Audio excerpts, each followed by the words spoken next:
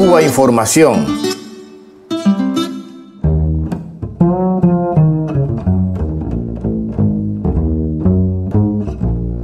A pesar de la política de recortes en el gasto público de la administración de Donald Trump, el Congreso de Estados Unidos aprobó para el próximo año fiscal 20 millones de dólares para grupos antigubernamentales de Venezuela y 15 millones para la llamada disidencia de Cuba. Otros 5 millones irán a grupos opositores de Nicaragua.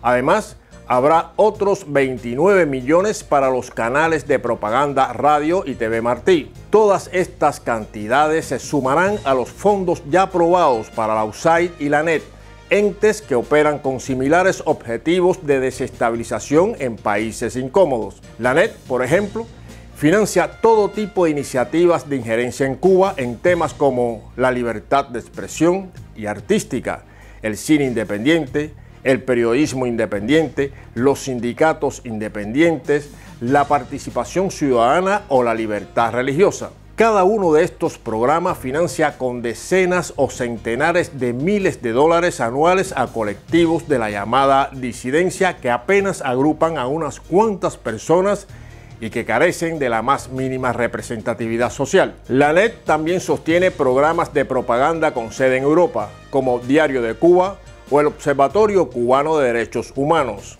Esta generosidad de fondos era aplaudida en los ambientes de la ultraderecha cubano-americana que, por supuesto, pedía más. La organización Inspire America Foundation proponía a Donald Trump 10 nuevas iniciativas para acorralar, palabras textuales, al régimen cubano. Entre ellas, revertir todas las medidas de flexibilización aprobadas por Obama y volver a incluir a Cuba en la lista de países terroristas. La iniciativa que pide más bloqueo y más sufrimiento para el pueblo cubano, lleva el apoyo y firma de quienes hoy siguen disponiendo de páginas completas en diarios internacionales, incluso como el ex agente de la CIA Carlos Alberto Montaner, un espacio fijo y exclusivo de análisis político en canales de gran audiencia como CNN.